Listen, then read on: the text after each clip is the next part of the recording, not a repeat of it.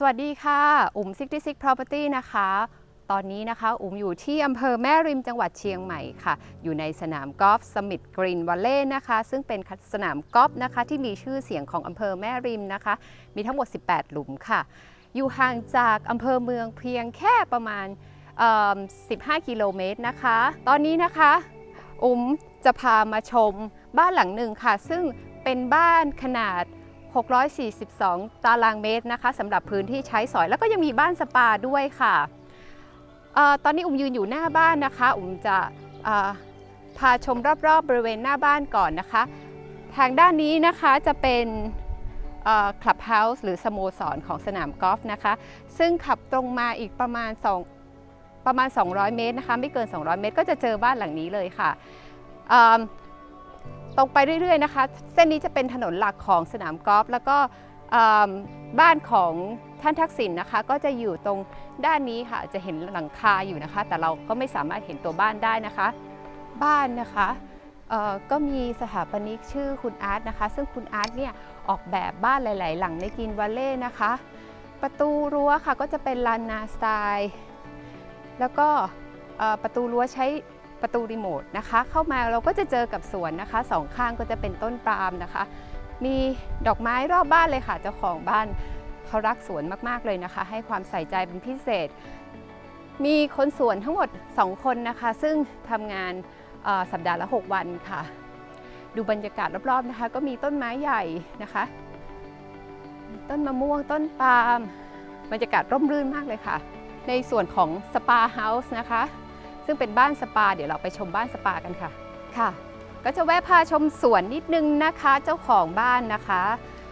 เขาจะเป็นคนรักสวนรักดอกไม้มาก ๆ เลยค่ะสวนเนี้ยก็จะถูกจัดไว้สวยงามไม่ว่าเจ้าของบ้านจะอยู่หรือไม่อยู่ก็ตามนะคะสวนเนี่ยต้องมีความสวยงามตลอดทั้งปี บ้านหลังนี้นะคะ เจ้าของบ้านนะคะเป็นวิศวกรนะคะ ชาวอเมริกันนะคะ แล้วเขา ก็ยังทำงานเกี่ยวกับปิโตรเลียมนะคะ หรือทำงานที่เกี่ยวกับบริษัทน้ำมันนะคะ เขามีบ้านอยู่ทั่วโลกถึง 11 หลังนะคะ แล้วก็เขายังเป็นนักบินด้วยค่ะ ภรรยาของเขาคืออคนไทยนะคะ พี่เขาก็น่ารักมาก ๆ เลยนะคะ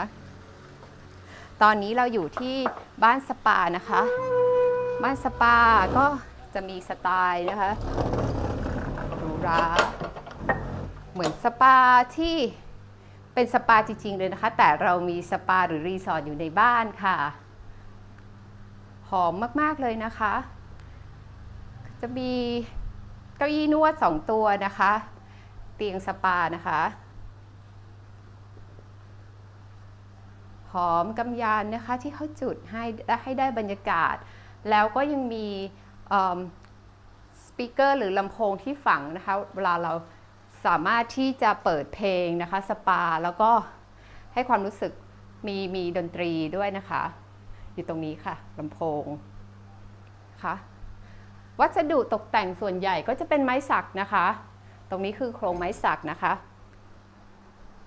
แล้วก็ประตูหน้าต่างกรอบทั้งหมดเนี่ยค่ะ ก็จะเป็นกรอบไม้สักหมดเลยนะคะ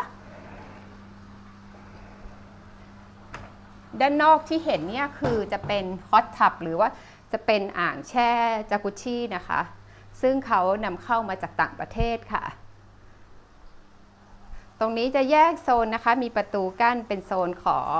ที่อาบน้ำค่ะ ห้องแต่งตัวนะคะ ก็จะมีอ่างล้างหน้าสองอ่างนะคะ มีน้ำหอมกลิ่นอโรมาต่างๆ น้ำมันนวดนะคะ แล้วก็มี rain shower ตรงนี้นะคะ หลังจากที่เรานวดเสร็จแล้วก็สามารถที่จะมาใช้ตรงนี้ได้นะคะ ตรงนี้ก็จะเป็นเตียงสปาอีกหนึ่งที่นะคะ พอดีบ้านหลังนี้จะมีกรอบ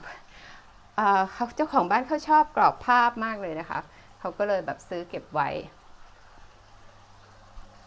มีตู้เสื้อผ้านะคะ ให้เปลี่ยน จากทางด้านนี้ก็มีน้ำตกนิดหนึ่งแล้วก็มีห้องน้ำด้วยค่ะ มีน้ำตกให้ได้ยินเสียงน้ำนะคะเวลาเรานวดเพื่อการเพื่อให้รู้สึกว่ารีแลกซ์นะคะ บรรยากาศดีมากเลยค่ะ บ้านหลังนี้นะคะ ก็มีความหรูหรานะคะ คุ้มกับราคาที่เราจ่ายไปสำหรับบ้านนะคะ พื้นจะเป็นไม้มะค่านะคะ คุณภาพดีเลย นะคะไม้มะค่าขนาด 30 เซนคูณ 8 เซนนะคะ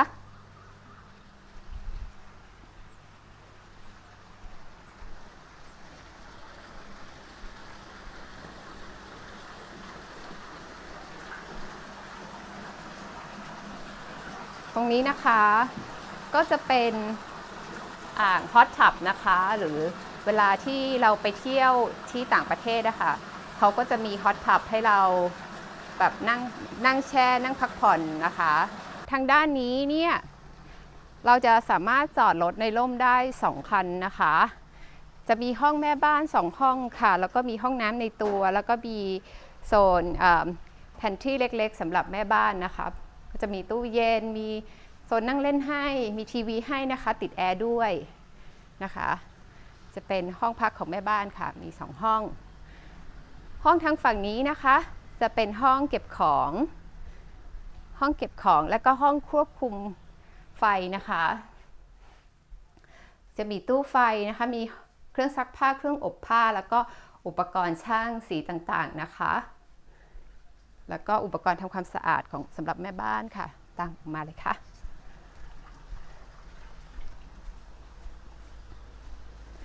เรามาชมสวนกันอีกแล้วนะคะ บ้านหลังนี้นี่สวยทุกมุมค่ะ ดอกไม้เยอะมาก ๆ เลย แล้วก็มีน้ำตกนะคะ เสียงน้ำตกน้ำพุเนี่ยรอบบ้านเลยนะคะ มีไฟสนามนะคะ ฝังอยู่ในหม้อทั่วบ้านเลยนะคะ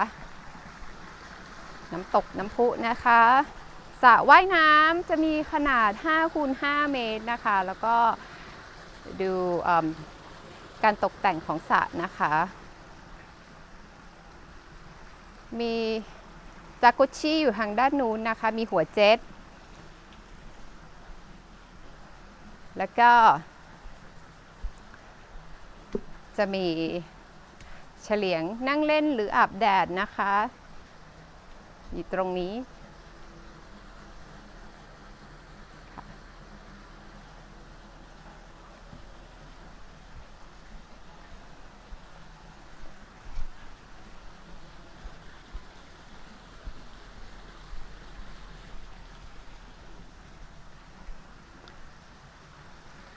ตอนนี้เราจะเข้าไปชมในตัวบ้านกันแล้วนะคะ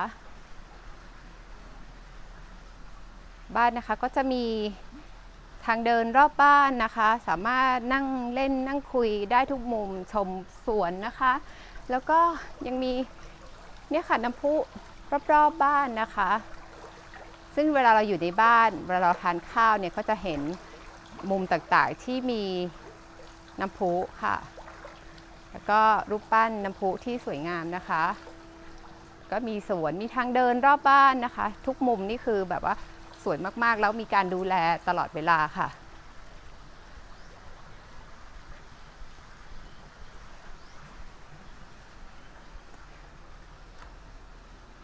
ประตูหน้าต่างนะคะ ก็จะใช้เป็นกรอบประตูไม้สักจริงทั้งหมดเลยนะคะ ซึ่งเดี๋ยวนี้เราจะหาไม้สักคุณภาพขนาดนี้เนี่ยก็หายากแล้วนะคะ ส่วนใหญ่จะเป็นไม้ที่ยังไม่ค่อยแห้งดีนะคะ บ้านหลังนี้เนี่ยอายุก็ประมาณ 14 ปีแล้วนะคะ แต่ว่าความคงทนเนี่ยบ้านหลังนี้ไม่ไม่เคยมีรอยแตกของปูนเลยนะคะ เป็นบ้านที่มีการฝังเข็ม มีการวางพื้นฐาน รากฐานโครงสร้างเป็นอย่างดีเลยค่ะ ตอนนี้นะคะเราอยู่ที่ห้องรับแขกค่ะ ห้องรับแขกนี้นะคะเฟอร์นิเจอร์ก็จะเป็นเฟอร์นิเจอร์ที่เจ้าของบ้านรักมาก ๆ ก็คือโซฟาชุดนี้นะคะ ก็อาจจะไม่ได้ให้ไปด้วยนะคะ แต่ถ้าเกิดว่าลูกค้าชอบจริง ๆ แล้วก็ต้องการที่จะเก็บโซฟาชุดนี้ไว้ก็ขอเสนอซื้อต่อได้เช่นกันค่ะ เป็นห้อง ห้องนี้จะเป็นห้องดูทีวีนะคะ เป็นห้องนั่งเล่นของครอบครัวค่ะ ก็จะตกแต่งด้วยบิวอินไม้สักนะคะ หมดเลยมีเครื่องปรับอากาศแบบฝังนะคะ ยี่ห้อไดกินนะคะอุปกรณ์ตกแต่งทั้งทุกอย่างพื้นไม้มะค่านะคะ แล้วก็น้องตัวนี้นะคะก็จะเป็นหมาป่านะคะที่คือด้วยความที่เขาเดินทางไปหลาย ๆ ประเทศนะคะ แล้วก็ก็มีการเล่นกีฬา เช่นการฮันติงหรือการล่าสัตว์ก็ได้เขามาหนึ่งตัวก็อยู่ตรงนี้นะคะ อยู่เป็นที่ระลึกอยู่ตรงนี้ ประตูนะคะกั้นระหว่างห้องรับแขกกับห้องนั่งเล่นนะคะ ก็จะเป็นบานเฟียมแบบนี้นะคะซึ่งจะสามารถที่จะกั้นให้มีความเป็นส่วนตัวได้นะคะ เพราะว่าห้องตรงนี้คือห้องโซนห้องรับแขกกับห้องรับประทานอาหารเนี่ยจะไม่มีแอร์นะคะ แต่เราจะไม่รู้สึกว่าบ้านร้อนเลยค่ะ เป็นห้องที่เปิดโล่งนะคะ บ้านหลังนี้อาจจะมีเสานะคะ อยู่รอบๆบ้านเลย แต่ว่าเป็นเสาเพื่อการ support แล้วก็เน้นความสวยงามด้วยค่ะเนี่ยไฟรอบๆบ้านนะคะ ทุกอย่างใช้อุปกรณ์นำเข้าแล้วก็วัสดุคุณภาพดีเลยนะคะ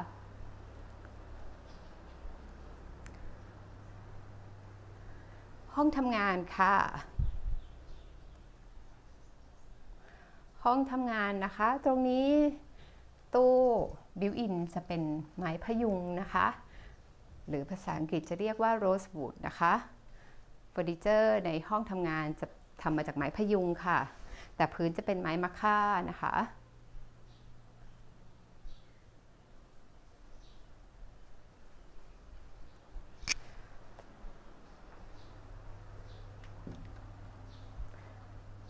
เป็น ห้องน้ำค่ะชั้นล่างเอาไว้รับแขกนะคะ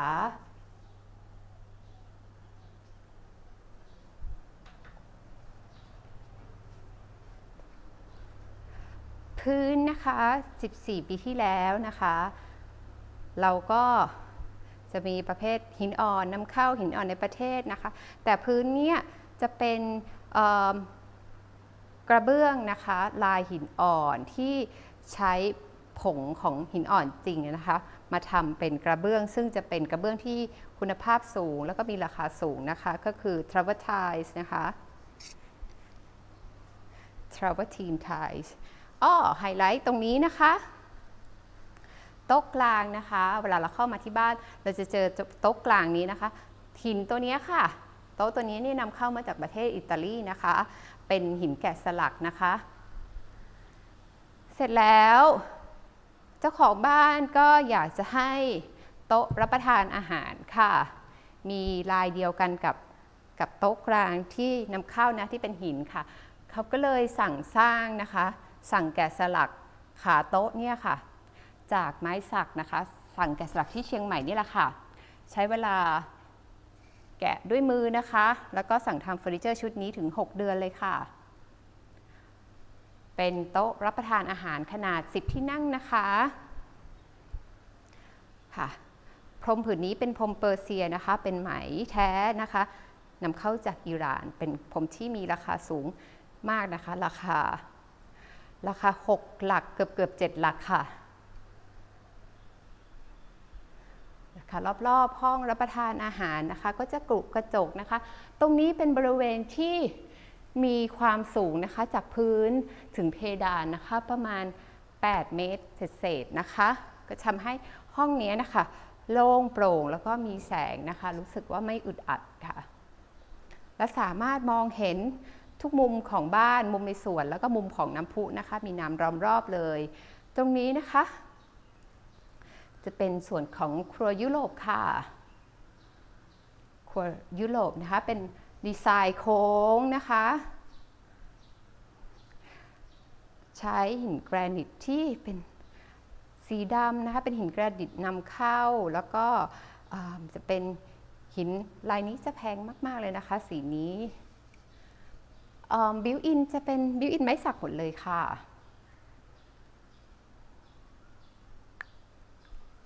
มีเตาไฟฟ้านะคะ มี oven มี hood ดูดอากาศ ต่อมาจะเป็นครัวไทยนะคะ ครัวไทยก็จะมี built-in ไม้สักค่ะโต๊ะรับประทานอาหารนะคะ มีตู้เย็นแยก มีเตาแก๊สแยกนะคะ เตาอบอีกหนึ่งเตา แล้วก็มีโซนที่ตู้เก็บของและโซนของเข้าของเครื่องใช้เครื่องปรุงนะคะอ่อหอมกระเทียมของไทยๆจะอยู่โซนนี้นะคะ แล้วก็จะมีประตูค่ะ ลืมแนะนำประตูนิดนึง ประตูออกไปทางสวนข้างบ้านก็จะมี มุมปลูกผักสวนครัวนะคะ โหระพากระเพราพริกนะคะ อันนี้ก็ปลูกไว้รับประทานเองในบ้านนะคะ มีมะเขือพวงด้วยนะคะ เป็นมุมเล็กๆ แต่น่ารัก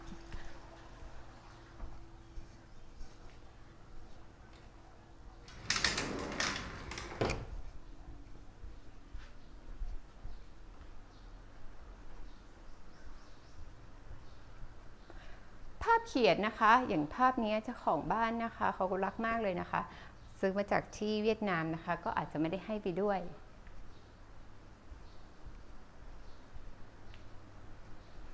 ตอนนี้เราอยู่ที่ชั้นล่างนะคะ เพราะว่าบ้านหลังใหญ่มาก ๆ เลยมีพื้นที่ใช้สอยอยู่ประมาณ 642 ตารางเมตรนะคะสำหรับ บ้านสปาอุ๋มลืมบอกว่าจะมีพื้นที่ใช้สอยราวๆ100 กับ 5 105 ตารางเมตรค่ะ ตรงนี้ก็จะเป็นห้องเก็บเครื่องดื่มนะคะ มีไวน์นะคะ มีแอลกอฮอล์นะคะ แล้วก็พวกแก้วทั้งหลายนะคะที่ใช้ในการดื่มนะคะ ก็จะเห็นว่าเจ้าของบ้านก็ชอบดื่มแล้วก็ดื่มกับแขกนะคะ มีตู้แช่ไวน์มีเคาน์เตอร์ มีเก็บอุปกรณ์แล้วก็ตู้เก็บกุญแจห้องเก็บของเล็ก ๆ นะคะ ซึ่งก็เก็บบันได ไม้กอล์ฟกระเป๋าเดินทางนะคะอุปกรณ์แก้วคริสตัลนะคะสำหรับเครื่องดื่มต่างๆ เรายังอยู่กันที่ชั้นหนึ่งนะคะ ตอนนี้อุ๋มจะพาไปอยู่ในส่วนของส่วนของเฉลียงหลังบ้านค่ะ จะเป็นห้องนั่งเล่นอีกห้องหนึ่งนะคะ ห้องนี้ก็จะสร้างเพิ่มเติมขึ้นมานะคะ จริงๆ แล้วคือมีห้องนี้อยู่แล้วแต่ไม่มีประตูกั้นนะคะ แล้วก็ไม่มีเครื่องปรับอากาศ แล้วก็มาเพิ่มในส่วนของของประตูอันนี้นะคะ เพื่อให้ง่ายต่อการดูแลรักษา แล้วก็สามารถใช้เครื่องปรับอากาศได้นะคะ ก็จะมีพัดลมเพดานนะคะ มีอุปกรณ์ออกกำลังกายนะคะ หลักๆ ชุดรับแขกที่ทำมาจากไม้ไผ่นะคะ ซึ่งก็เป็นจากบริษัทยี่ห้อดังเหมือนกันนะคะ ด้านนี้จะเป็นเฉลียงหลังบ้านค่ะ ซึ่งด้านนี้ค่ะ ก็คือสนามกอล์ฟนั่นเองค่ะ แต่ถ้าเราขึ้นไปชั้นบนเราจะเห็นสนามกอล์ฟชัดเจนมากเลย จะมีถนนนะคะที่รถกอล์ฟสามารถวิ่งได้รอบนะคะ แต่ว่ารอบๆ เนี่ยรั้วเราจะสังเกตว่ารั้วเตี้ยใช่ไหมคะ แต่ว่าเราก็สร้างตะข่ายขึ้นมาสูงนะคะ ก็ไม่ต้องกังวลเรื่องลูกกอล์ฟนะคะเฉลียงก็เริ่มตั้งแต่หลังห้องทำงานนะคะ มาก็มีเก้าอี้นั่งนั่งเล่นหนึ่งชุด โต๊ะ โต๊ะนั่งเล่นหนึ่งชุด แล้วก็ตรงนี้ก็จะเป็นมุมบาร์บีคิวค่ะ ตัวนี้ก็จะเป็นเตาบาร์บีคิวที่เราคุมผ้าไว้ ค่ะต่อไปนะคะ อุ๋มจะพาไปชมชั้น 2 ของบ้านนะคะ ตามผนังนะคะก็จะเป็นกรอบรูปขนาดใหญ่เลยนะคะ เป็นภาพเขียนนะคะ ซึ่งเจ้าของบ้านจะชอบมากเลย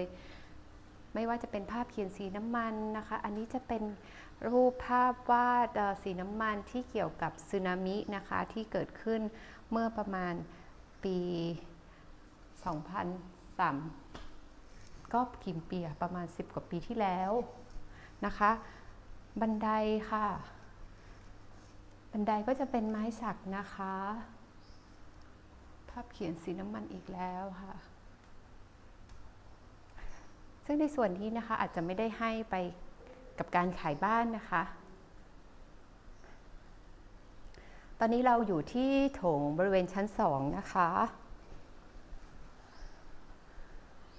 จะเป็น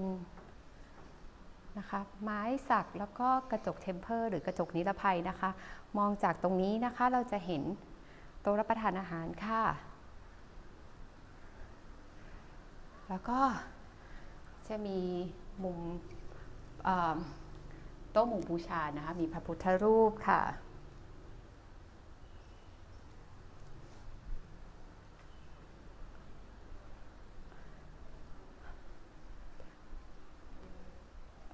เฟอร์นิเจอร์นะคะ เป็นชุดรับแขกนะคะสำหรับนั่งเล่นบนโถงชั้นสองนะคะกรณ์ตกแต่งนะคะก็จะมีพระพุทธรูปนะคะเฟอร์นิเจอร์โบราณนะคะ ตอนนี้เดี๋ยว เราไปดูห้องนอนใหญ่กันก่อนนะคะ พื้นนะคะก็จะเป็นพื้นไม้สักค่ะประตูนะคะ ห้องนอนใหญ่เนี่ยสังเกตง่ายก็คือ ประตูจะเป็นประตูแบบนี้นะคะ เปิดเข้านะคะกับกระจกนะคะ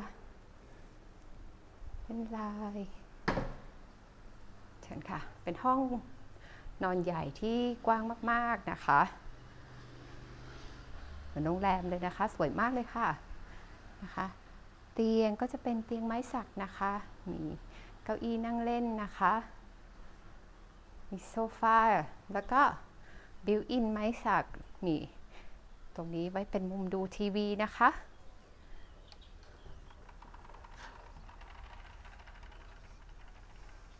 ประตู กรอบประตูหน้าต่างไม้สักนะคะบ้านหลังนี้ก็จะเน้นเป็นโครงสร้างปูนแล้วก็ไม้สักเป็นส่วนใหญ่นะคะ วิวตรงนี้ค่ะเป็นวิวสนามกอล์ฟนะคะ เราจะเห็นนะคะ วิวสนามกอล์ฟจากมุมหลังบ้านเนี่ยชัดเจนมากๆเลยค่ะกีนวัลเล่เป็นสนามกอล์ฟที่มีชื่อเสียงนะคะ ห้องนอนใหญ่นะคะ จะมีเฉลียงทั้งด้านหลังนะคะ แล้วก็ด้านหน้าของห้องนอนนะคะ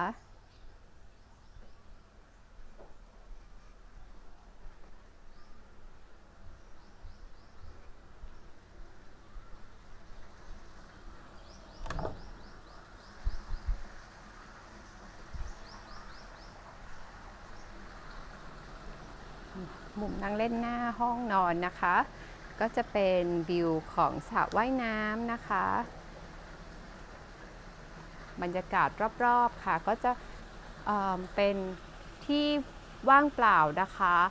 สามารถซื้อเพิ่มได้ค่ะ แต่ละแปลงนั้นขนาดประมาณ 521 ตารางวา แล้วก็ 525 ตารางวา ราคาก็เฉลี่ยอยู่ที่ตารางวาละ 20,000 ก็ราคาขายจะอยู่ที่ประมาณแปลงละ 10 ล้านนิดๆนะคะ ทั้ง 2 แปลงเลยค่ะ สามารถซื้อเพิ่มได้นะคะ ไร่กับ 1 งานกว่าๆนะคะ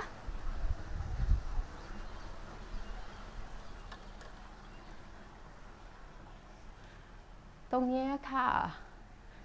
เพดานของห้องนอนใหญ่นะคะจะถูกออกแบบตกแต่งนะคะให้มีความสวยงามมาก ๆ เลย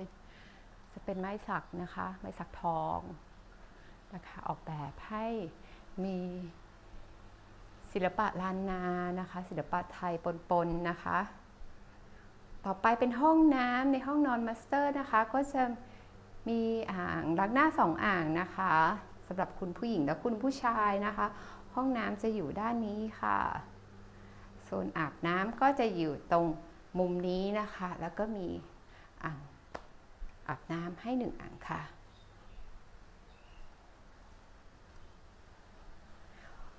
ตอนนี้เราอยู่ที่ห้องแต่งตัวของห้องนอนใหญ่นะคะ เป็นห้องแต่งตัวที่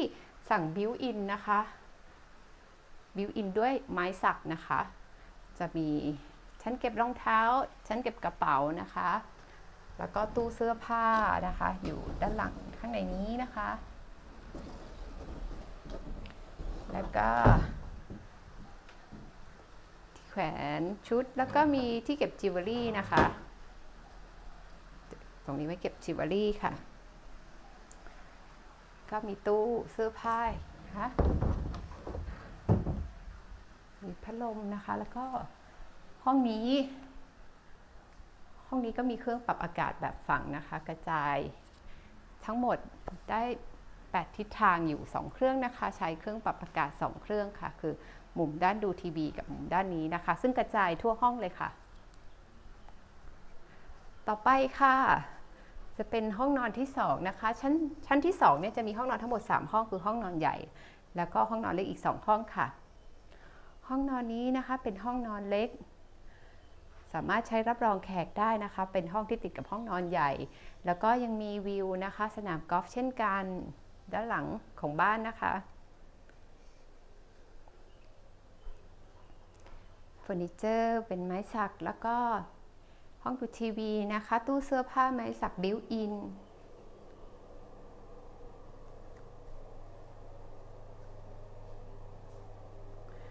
ค่ะแล้วก็ห้องห้องน้ำนะคะ แล้วก็ เป็นชาวเวอร์นะคะ ไม่น่าเชื่อเลยนะคะว่าอายุบ้าน 14 ปีแต่คุณภาพยังดีมากๆเลยค่ะ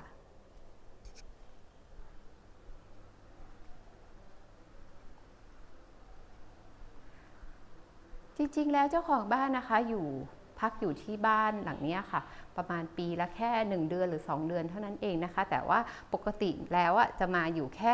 ปีหนึ่งก็คือมาแค่ 1 เดือนนะคะ แล้วก็เดินทางไปต่างประเทศบ่อยมาก ๆเลย แต่ว่าจะมีแม่บ้านอยู่ 2 คนคนส่วนอีก 2 คนนะคะ คอยดูแลบ้านให้มี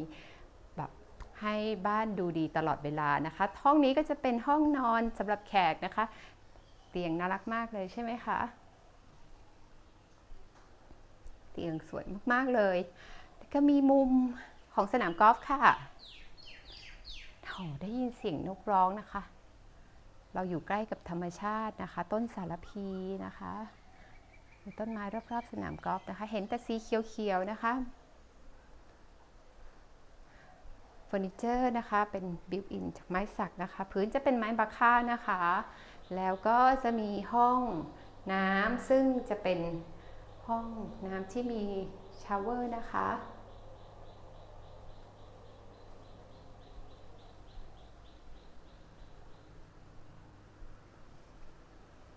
ค่ะตอนนี้เราชมชั้น 2 กันเสร็จเรียบร้อยแล้วนะคะ